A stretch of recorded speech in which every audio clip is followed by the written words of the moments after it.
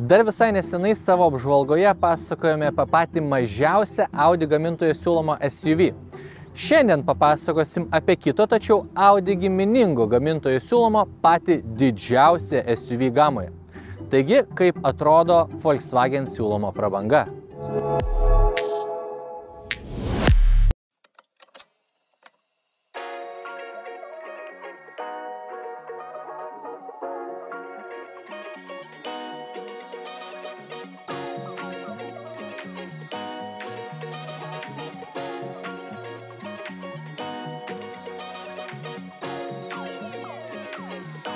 Taigi šiandien mes išbandom 2018 metais pagamintą Volkswagen Touareg.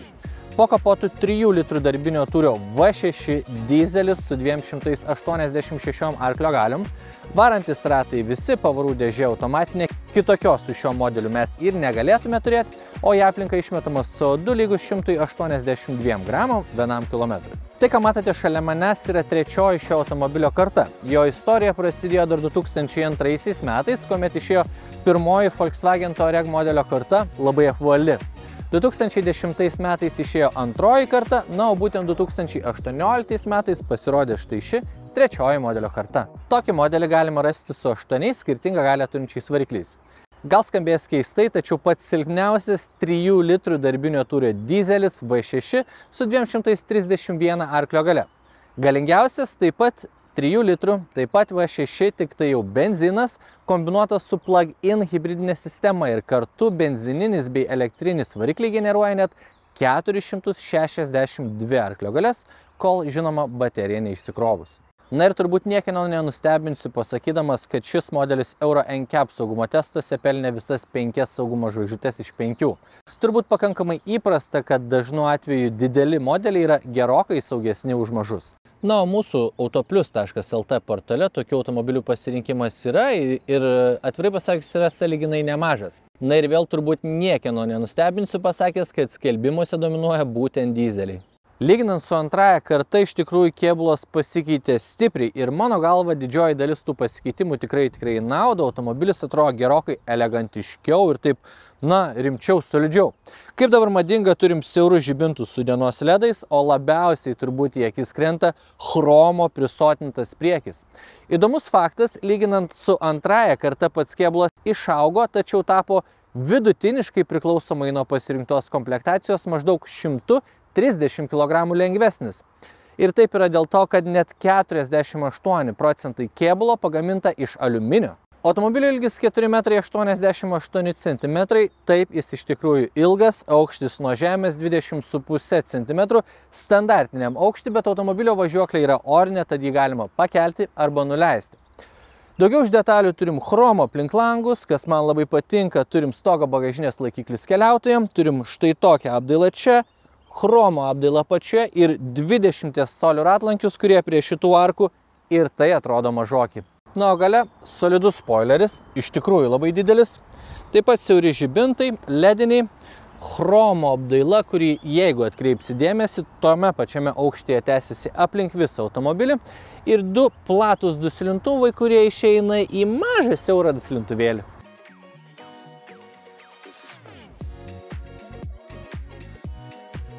Atsėdus į vidų iš tikrųjų iš pirmo žvilgsnio interjeras atrodo solidžiai ir net suvokiant, kad sėdžiu Volkswagen'e, čia jaučiasi prabanga. Turim juodos spalvos, tokį gan įprastą, tačiau stilingą derinį, juodos sėdynės, juodos lubos, juoda centrinė konsolė, turim sidabrinės spalvos apdailų, juodos blizgios spalvos ar netgi va tokių persiuvim baltų siūlų, kas atrodo visai gražiai. Bet mes aišku privalom pasižiūrėti ir į medžiagų kokybę. Ten, kur dedamos alkūnės, viskas labai tvarkoja, manau, kad neįskaustų. Čia irgi medžiagos minkštos. Oi, čia labai minkštos medžiagos. Na, aišku, leidžiant žemiau, jau truputėlį prasideda kietesnės plasmasės, bet tai neturi didelės įtakos. Pažiūrėkim į surinkimą. Na, truputėlį toks mini, mini judesėlis yra, bet iš tikrųjų manau, kad viskas labai tvarkoja. Toregas dar turi ir labai gražų foninį salono apšvietimą, kurio visas grožis atsiskleidžia sutemus. Na, o dabar pereikime prie sėdinių ir jos ko gero yra ta vieta, kur, na, galėčiau girti ir girti. Jos yra minkštos, patogios, prilaiko iš šonų, valdomos elektra, turi atmintį, yra šildomos, vėsinamos Tik tai nėra masažuojančios, bet toks automobilis galėtų turėti masažuojančias sėdynės. Tiesą pasakius, Nežinau, ar verta pirkimo funkcija, nes tai vis tiek nebus taip malonu kaip žmogaus rankos. Bet elektra valdoma viskas. Galima atskirai prisipūsti arba išsileisti šito šonus, galima apatinės dalis atskirai prisipūsti arba išsileisti, lygiai taip pat prasilginti savo vietą kojams. Gal vienintelis minusas sodinių sėdinių, kad bus šiek tiek karšta įlipti ant jų ir atsisėsti karštą vasaros dieną, bet tam mes ir turim sėdinių vėsinimą. Plus vairas turi labai iš tikrųjų daug skirtingų padėčių ir labai daug išsitraukia, tai mano galva, kad patogią sėdėjimo poziciją ras ir didelis, ir mažas. Multimedijos ekranas mūsų išbandomoje versijoje yra 15 colių strižainės, jis yra milžiniškas. Kiek skurdesnėse komplektacijose ekranas būtų 11 colių, bet na, tai ir taip jau yra daug. Pats ekranas ypatingai funkcionalus, čia aišku be abejonės galima prisijungti telefoną, yra navigacija, be laido veikia Apple CarPlay Android Auto sistemos, o nustatymų tiek daug, kad čia galima nustatinėti automobilio saugumo sistemas, čia matosi automobilio įvairūs kontrolės davikliai, kaip kad padangų slėgis ar kitos kažkokios tai apsaugos sistemos, žodžiu, viskas su tuo ekranu iš esmės yra puiku ir praktiškai aš čia neturiu kur kabinėtis, belieka tik naudotis. Raiška gera, greitis puikus. Na, o dabar yra ta vieta, kur jums turėčiau parodyti galinę vaizdo kamerą, bet šitame prabangiame ir labai brangiame automobilyje jos tiesiog nėra. Čia turim parkavimo įtiklius priekyje ir gale. Na ir aišku, jungus galinę pavarą šiek tiek nusileidžia ir pasisuka veidrodėlį. Bet kameros mes neturim. Prabangiam automobiliu už labai labai didelę sumą. Klimato kontrolė šitam toregi yra dviejų zonų, kai kuriuose komplektacijose būtų galima rasti ir keturių zonų. Viskas valdoma ekrano pagalba, aišku, temperatūros e, nustatymai yra ekrano apačioje, jeigu reikia išplėstinių nustatymų, jau teks eiti į pagrindinį oro kondicionieriaus meniu. Aišku, toje pačioje juostoje rasim ir sėdinių šildymą bei vėsinimą. Įdomus faktas, jeigu tai būtų šiek tiek skurdesnė komplektacija ir tai būtų 11 colių strižainės ekranas, tai klimato kontrolės mygtukai apačioje būtų fiziniai. Na, o dabar dar trumpai paminėsiu, kam skirti štai šie du ratukai centrinės konsolės viduryje. Vienas labai paprasta kelia arba leidžia automobilį, priklausomai nuo to, kur jūs tuo metu važiuojate. Kitas skirtas važiavimo režimo pasirinkimui, jų yra net septyni, visų nevardinsiu, bet čia yra komfortui, sportiniam važiavimui ar bekeliai, ar važiavimui sniegu skirtingi važiavimo režimai tam, kad turėtumėt maksimalų sukibimą su danga. Vairuoto ekranas mūsų išbandomame modelyje yra skaitmeninis, tačiau toks trečios kartos Toregas gali turėti ir analoginį ekraną, jeigu tai bus, kaip minėjau, šiek tiek skurdesnė komplektacija. Pats ekranas puikus, labai lengvai valdomas, labai ryškus, čia galima perskelti navigaciją, tai važiuojant važiuojant galėsi tiesiog stebėti kelią ir spidometrą, nereikės dirščioti į navigaciją. Čia taip pat yra didžioji dalis saugumo sistemų nustatymų, tokių kaip adaptyvaus autopiloto, juostų palaikymo ar, pavyzdžiui, avarinio stabdymo. Mano galva, tai ekranas yra puikus, gal ne toks tiesiog nuostabus, kaip pavyzdžiui, audio automobiliuose, bet iš esmės, kas liečia ekonominę klasę, tai skaitmeniniam ekranui neturiu priekaištų. Pats vairas dar truputėlį senesnės kartos automobilių su faceliftintų modeliu nebejoju, beveik kad pasikeis vairas ir bus toks kaip pavyzdžiui 8 kartos golfe ar naujose tikrosiuose. Bet e, ko man patinka tas vairas, tai kad čia yra senas multifunkcinis valdymas, fiziniais mygtukais, juos paspausti paprasta, valdymas lengvas ir visada žinai, kada tą mygtuką paspaudyti. Pats vairas malonus lietimui apsiūtas soda, dėja nešildoma šį kartą. Dabar parodysiu dar dvi malones šio automobilio detalės. Jeigu pavyzdžiui važiuojam vingiuotų keliuku, kuris pastovi sukiojasi, saulėtą vasaros dieną ir saulė šviečia tai iš kairės, tai iš tiesiai, tai iš kairės, tai iš tiesiai. Ne problema. Atsilenkiam vieną skidelį nuo saulės, tada atsilenkiam antrą skidelį nuo saulės ir savo ramiai važiuojam nesiparindami. Antra maloni detalė - tiesiog labai labai gražiai atrodantis vidrodėlis be rėmo. Na, o dabar pereikim prie dėtuvių. Tai durysi solidi, plati dėtuvė, vieta įsikiš dideliam buteliui, dar šiek tiek vietos pasidėti kasdien vežiojamiem daiktam, tačiau ji tokia gili ir einanti atgal, tai jeigu įdėsit smulkų daiktą, ko gero reiks ten kišti ranką ir toli ieškoti. Toliau, kairiai vairo pusėje turim mano mėgstamą dėtuvėlę. Štai čia turim užsidarančią dėtuvę su bevėliu telefonų įkrovimu. Faktas, bevėlis telefonų įkrovimas bus jau standartiniai tokio Torego komplektacijai. Čia taip pat turim USB jungti ir vieną 12 V jungti, du didelių podelių laikikliai ir vienas per vidurį mažo podelių laikikliukas. Porankis maždaug tokio gylio, čia turim dar vieną USB jungti. Turim, aišku, kaip įprasta dėtuvė čia, ji nėra labai didelė ir dar štai toks tinkliukas štai čia, jeigu norite įsidėti daiktus ir juos pamiršti ir jų niekada nematyti. Dabar pažiūrėkime į vietos kiekį gale, tai kaip visuomet sėdžiu pats už savęs, taip kaip vairuoju, kaip matot, mano keliam vietos sočiai, mano pėdom vietos sočiai, mano galvai vietos sočiai, būtų vietos ir dar daugiau, jeigu nebūtų panoraminio stoglangio.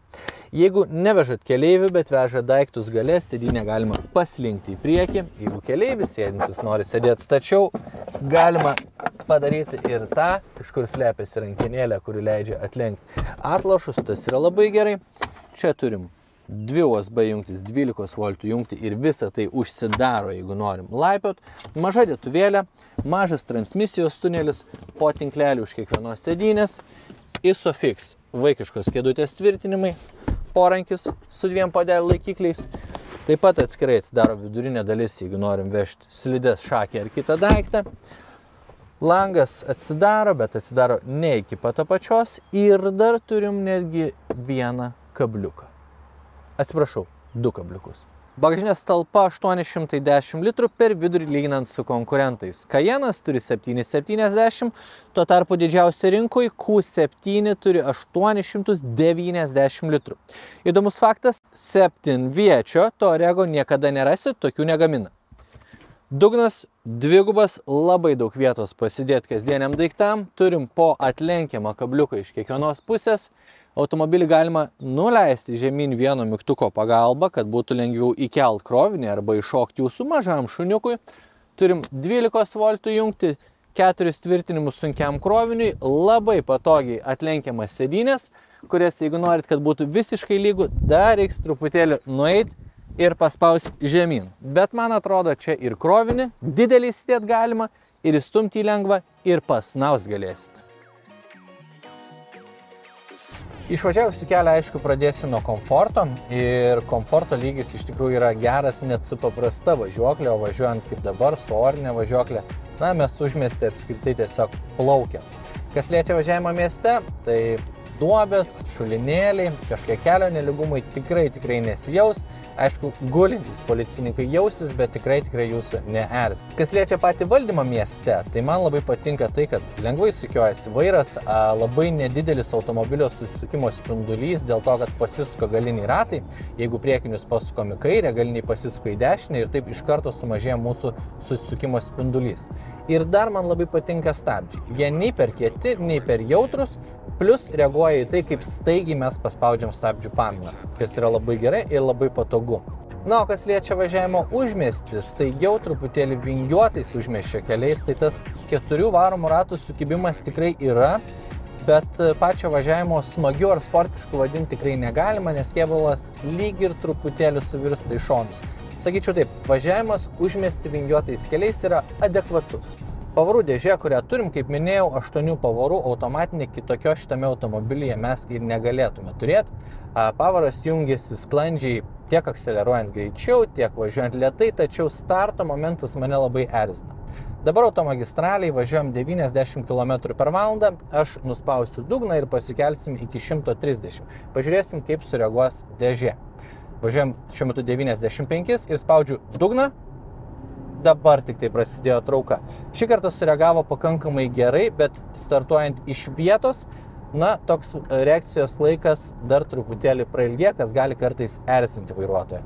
Sąnaudos, kurias turim šiuo metu, siekia apie 10-11 litrų 100 km.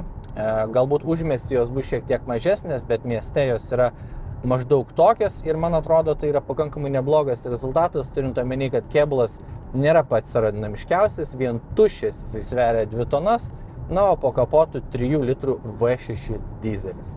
Kas liečia patį matomumą, tai prieki situacija labai gera, stiklas didžiulis, veidrodėlis vidurinis kabo aukštai, šoniniai veidrodžiai dideli, statramšiai nestori, dar plus turim po mažyti ir langelį. Galia situacija taip pat labai gera, jeigu reikėtų išvažiuoti į intensyvų eismą, gal šiek tiek galiniai statramšiai yra storoki, bet manau, kad dažnai tai didelė problema tikrai netaps vairuotojui. Na, o atvirai pasakius, garso izolacijos tai tikrai tikėjausi geresnės. Ji netragiška, bet važiuodamas 95 km per valandą greičiu su prabangiu automobiliu norėjau užsidaryti langus, galvodamas, kad jie pradaryti. Vėjo švilpimas tikrai tikrai girdisi, nors tiesą pasakius, variklio izolacija pakankamai gera ir jo garsas net akceleruojant manęs neerzina. Na, kadangi automobilis dar labai naujas, čia yra daugybė, daugybė saugumo sistemų, kurių visų nevardinsiu, bet čia yra ir avarinis stabdymas prieš kliūtį, ir juostų palaikymas, ir adaptyvus autopilotas. Ir beje, adaptyvus autopilotas yra toks protingas, kad veikia kartu su navigacija, kad iš kuo anksčiau žinotų apie jūsų laukiantį staigų posūkį.